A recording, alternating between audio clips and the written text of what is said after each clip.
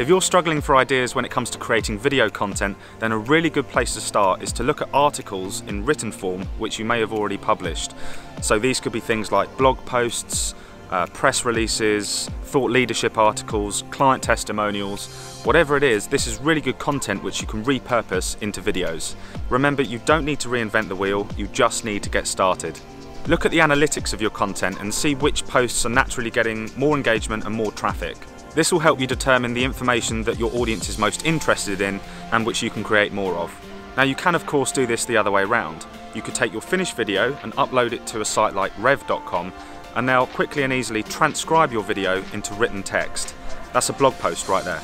Or if you're feeling really efficient, you can extract the audio from your video and upload this as a podcast. By using some of these techniques, you'll not only streamline your workflow, but you'll create multiple formats out of just a single piece of content.